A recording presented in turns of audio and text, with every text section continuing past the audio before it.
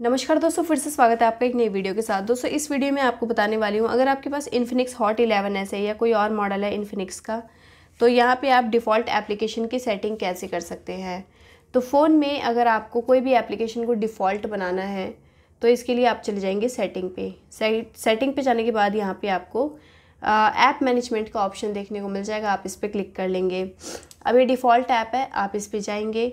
और यहाँ पे जैसे कि ब्राउज़र वाला है तो यहाँ पे कोई भी ब्राउज़र के लिए डिफ़ॉल्ट सेट नहीं है तो मैं इसको क्लिक कर दूँगी, ताकि नेक्स्ट टाइम से जो भी सर्फिंग ब्राउजिंग हो सर्चिंग वगैरह, वो मेरे क्रोम ब्राउज़र से हो।